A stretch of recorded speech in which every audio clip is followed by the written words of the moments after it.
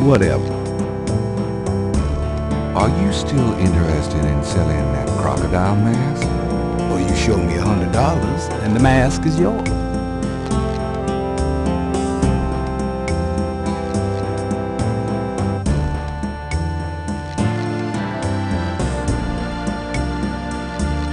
I have a hundred dollars. You still want to sell that crocodile mask? That's a hundred dollars. Sure enough. The it's yours, sir.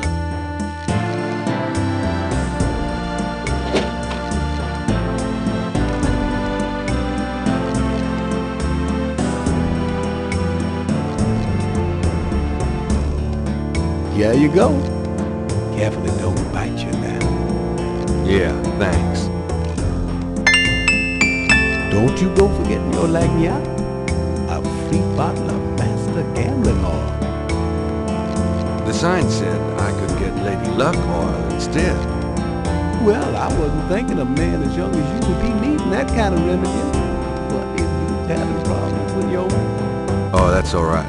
Believe me, I don't need it. I'll just stick with this. Thanks, anyway. Of course, it ain't none of my business if you do need it. I don't need it. Of course you don't.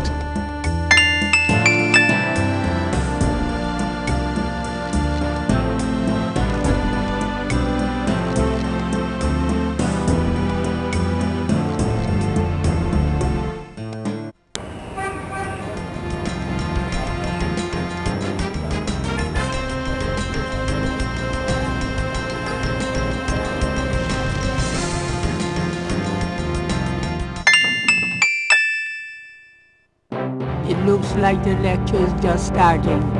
Gabriel decides to record the session. Voodoo is the tribal religion of Africa. The name, Voodoo, is actually a banner under which resides an entire body of distinct tribal belief systems. The word voodoo may sound familiar to you. What is known in the States as voodoo is actually an amalgamation of African religious systems, voodoo, and European religions, primarily Catholicism. All of the subcults of voodoo have certain things in common. The most important is the worship of a pantheon of spirits instead of the single deity that the Christian and Muslim systems have. Some of these spirits are elementals. Some relate to specific tasks or places. Some represent important tribal leaders. This spirit worship is what makes voodoo so easily problem to add a few more. Say, for example, the Virgin Mary. At the height of tribal Africa, warfare was common. One tribe would conquer another. Loa, important in the conqueror's tribal system, would be adopted readily into the conquered tribe's Loa pantheon.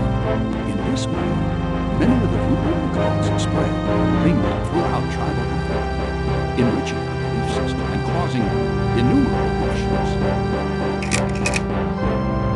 The basis for the voodoo religion seems to be as old as man himself. It has much in common with many early pagan practices. Animal totems, sympathetic magic, elemental spirits in the trees, the heavens, the bodies of the sick. Africa is believed by many to be the cradle of the human race. Some of the voodoo lore may be as old as the Garden of Eden itself. We still can't explain some of the real power of these primal religions. And no, I said primal, not primitive. There are African Bokors who baffle our scientists with their supernatural powers.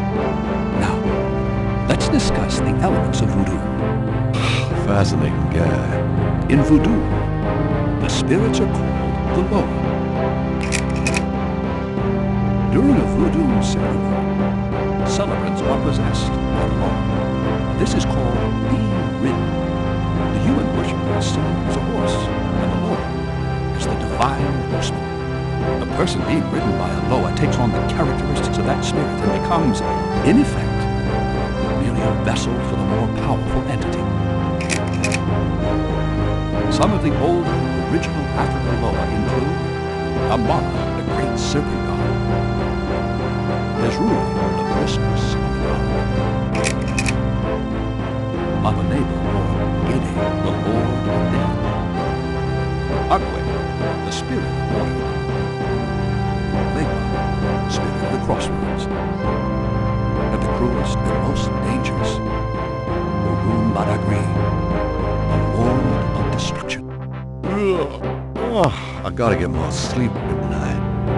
A tribe-specific Loa can have as much or more power as the more widely worshipped Loa. For instance, a particular tribe might revere highly the Loa of an ancestor who was a legendary hunter or politician. Voodoo temples are called Hungfors. Their priests, Hungu or Bokors. Their priestesses, Mama Loa. In a voodoo Hungfor, there's a ritual circle marked by a center pole called a Poto Mitai. The ritual circle is prepared with a veve, a pattern of symbols. Each tribe's veve is slightly different, consisting of complex symbols that identify their special Loa. During ritual conclaves, initiates dance the supervision of Boko and Loa, or head priestess. The use of totems or animal masks and markings was not uncommon in the original African ceremonies. Now, though, all but the oldest sects have abandoned this practice.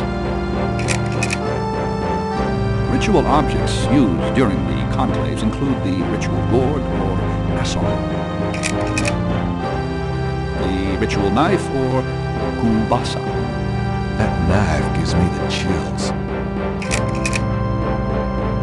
the ritual whip or fouet kash, and the ritual coffin or seke madule. These items are often optional, called for by the Mama Loa for specific magical rituals. Mama Loa is the most powerful figure in any voodoo sect. Voodoo is a truly matriarchal system. Even the Bokor knows his power is limited. Mama Loa is the supreme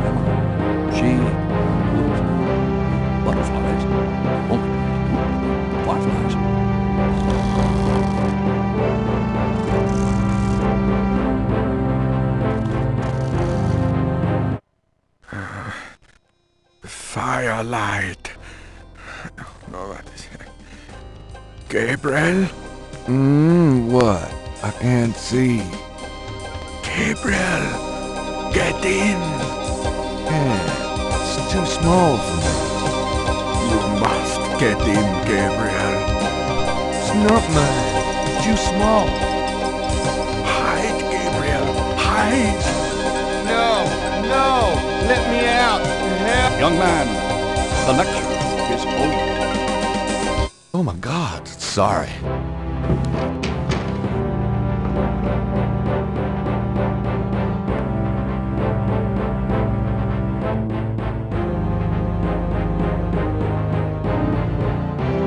The reconstructed Veve was done for Gabriel by a technical artist.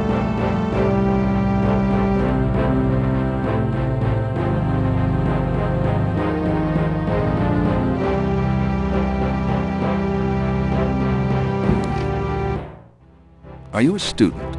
No. My name is Knight. Gabriel Knight. Well, you have walked into my private office, Mr. Knight. I hope you have something worthwhile to do here. If you figure it out, let me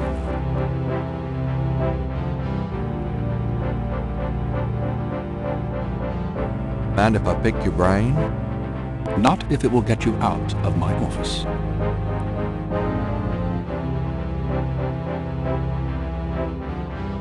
What do you know about the voodoo murders? I've uh, read about them in the papers. I must admit to some interest. But according to the newspapers, the voodoo aspect is fake, so I haven't really pursued it. You know how Americans, especially Hollywood, treats voodoo. I'm sure there are many so-called practitioners out there that have no idea what they're doing or the power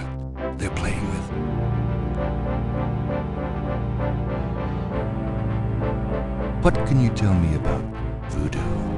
You already sat through my lecture on the subject, Mr. Knight. Perhaps next time you could stay awake and learn something.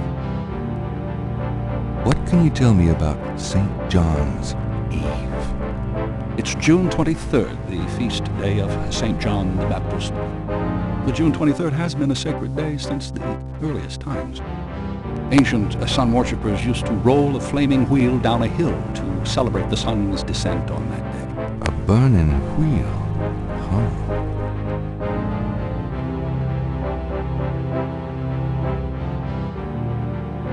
Do you know anything about Marie Laveau?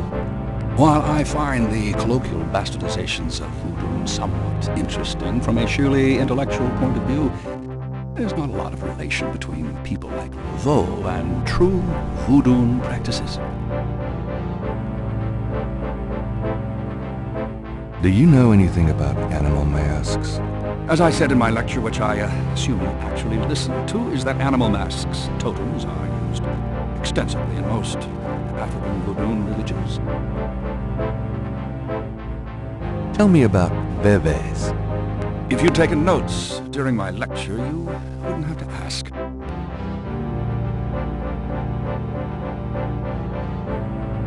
Tell me about yourself. All right, Mr. Nighttime. Thirty-five, a fully tenured professor at this university as well as a fellow at Cambridge. My doctorate was obtained at Syracuse. Yes, Syracuse, in religious studies. I'm an agnostic, but I find human belief systems fascinating. I specialize in African religions because I grew up there. My father was a Protestant missionary. And I am heterosexual when I practice sex at home, which isn't very often. Any other questions? Uh, no. Fine.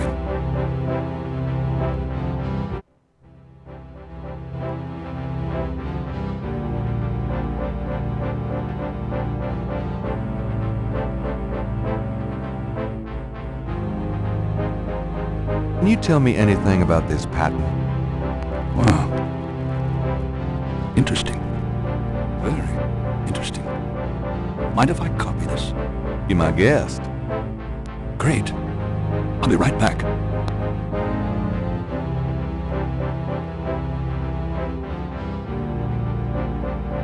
Here you go. You know, this is a fascinating veve. You must tell me all about its origin. Actually, I was hoping you'd tell me. Can you figure out anything about it from the symbols? Well, some. That's why I wanted a copy. I want to research the design myself. Each of these symbols in the Veve represent something, lore, a place. Where did you get this? Have you heard of the voodoo murders? No, you're kidding. Really? Then the voodoo is authentic. The newspapers are wrong. Boy, are they wrong? You think this Veve is authentic then? Authentic? Mr. Knight, that's like asking if the Mona Lisa is a painting. Tell you what, I'll uh, look into these symbols myself and see what I can learn about the sect that made this. I'll give you a call when I have more information. Uh, you are associated with the police, aren't you? Absolutely. But I'm, uh, undercover. You can contact me at the St. George's Bookshop in the quarter. All right. Now, I'd like to get started on this if you don't mind.